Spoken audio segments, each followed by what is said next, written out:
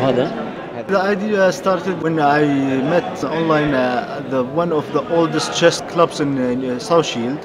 I contacted them and I said, uh, why don't we do an, a competition between the asylum seekers and the refugee? Or oh, we can go to Action Foundation I help people to practice their English. When I first started doing this I had a box full of games, one of which was chess. And people would come along and say, Can I play? Yeah, yeah.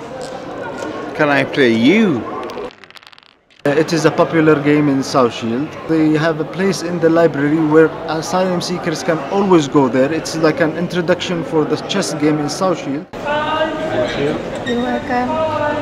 Uh, we are now trying to break this isolation in, uh, for the asylum seekers with introducing many activities uh, so they can make friendships. Uh, chess also a very popular uh, game worldwide and the rules are same everywhere.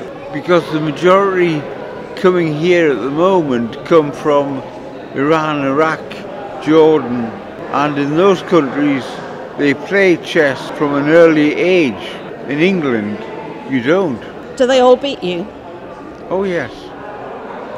I've only won one game against a chap from Iran, and I'm not sure whether he let me win that one. When I introduced it as an idea between the asylum seekers and refugees, they really welcomed the, that and uh, they said they want to, uh, to join and they want to participate in this competition. Oh, oh that's uh, oh dear, oh dear.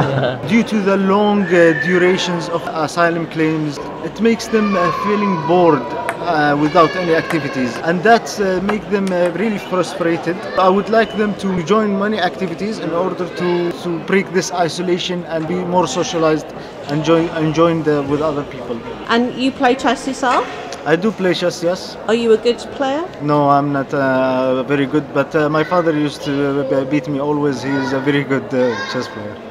I think we don't necessarily have to think of asylum seekers and refugees. We have to think of people who live in this country and have lived here for many years. They've got very little chance to interact with anybody. Coming here, they can at least talk to people. They can play a game. They can enjoy themselves. That's what I come here for.